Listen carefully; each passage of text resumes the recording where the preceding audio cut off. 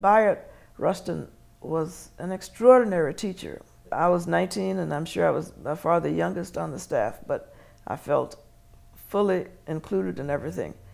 He listened carefully to what our suggestions um, and took seriously what we had to say. I, I cannot emphasize enough how much respect I had for him and the other staff had for him. He was a funny man. He had a great sense of humor. He invited us over to his apartment, and he had this phenomenal African collection of African masks and African walking canes.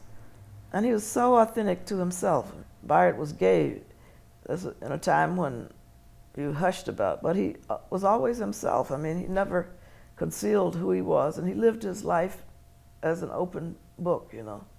And I'd never worked with a gay person to know it before, but it didn't matter. Um, coming from, you know, very orthodox, deep Southern Bible Belt, mean, he just put everybody at ease. And as I said, it was a master teacher.